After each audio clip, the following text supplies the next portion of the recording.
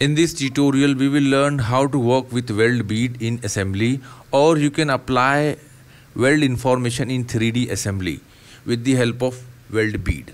So this is a assembly even you can apply weld on part also.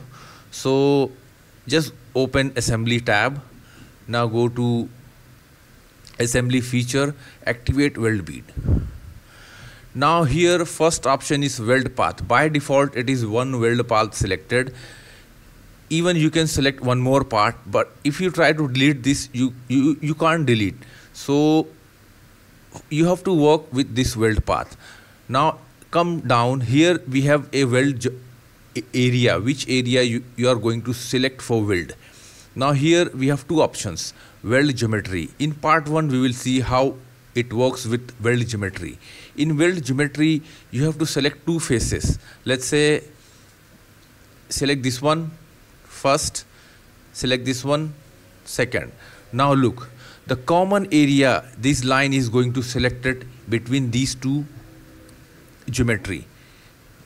Now let's say this is the 0.15 if you want to keep 0.1 okay? See here if you are going to it is selected section. If you are going to choose tangent propagation look this is going to select all the edges which is tangent to this edge. Unchecked. If you select both side see this is going to select other side. Even though one option all around. Look this is going to select all around the body if you select only in selected area then there is two more options. Okay there is a one more options called uh, defined weld assembly symbol. Now this is normal symbol. Even if you say weld symbol triangle flat you can define it. Here define the value 0.5 okay. Now see this is the information or weld information you will see here. Even though if you want to see length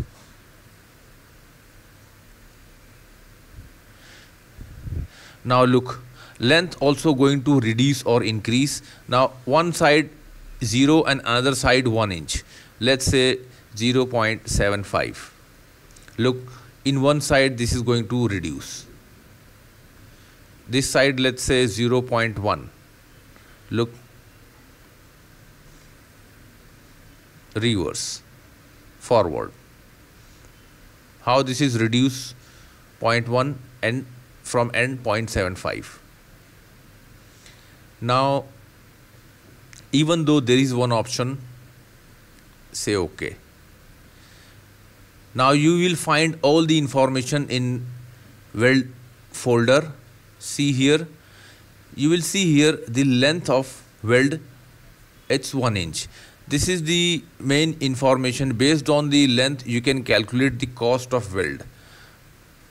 If you want to edit right click edit feature and simply you can edit from here. Cancel it. Now let's say delete this. Yes. Now again activate now use weld path and I'm going to select these two faces. Weld information 0.1 now this time I am going to select all around. If you are going to choose all around it will delete one options. See? Intermittent. Now here you can define the weld length. See this pink line is weld length and gap between these two pink line. Let's say gap reduce 0.2 look the gap is going to reduce 0.2 and weld length even you can reduce 0.2 see? If you unchecked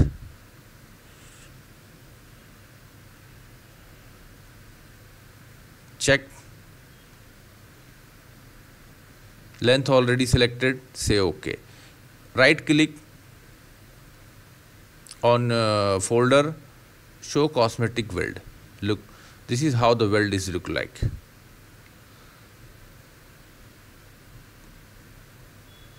Edit feature. Now from here you can increase the length 0.3 it seems more practical gap reduce 0.15 inch. Now similarly there is one more option called pitch and weld length. Let's apply pitch and weld length. See this is the length of uh, this one uh, bead. And this is the pitch of bead. Means it is included the length and gap 0.36 if you say 0.4 this is going to be like this okay? So we will keep gap 0.3 and here this this one 0.15 this is suitable? Okay. Now let's apply again weld here simple weld. Weld geometry by path. Now i'm going to select this face and this face. This time 0.15 select all round now this is going to select all round and we are not going to apply anything. Simply say ok and that's it. You will see the information.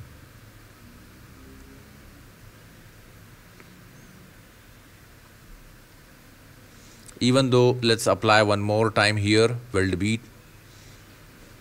This face this face. Apply both side. This is going to apply on both side let's say this is also going to be 0 0.5 0.5 this is going to be smaller one. Okay. That's it.